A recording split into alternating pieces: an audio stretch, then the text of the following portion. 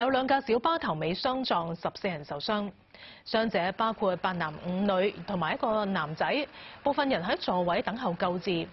救護員先同傷勢較重嘅乘客戴上頸箍固定，再分流其他乘客坐喺路邊，初步治理之後轉送去兩間醫院。涉事嘅兩架小巴中午沿培正道上斜路駛去佛光街，去到文峰徑交通燈位時，據報前面有電單車突然掉頭，轉右駛去反方向行車線。兩架小巴收掣不及相撞，警方一度封閉一段培正道。大律師公會主席夏博義接受專訪。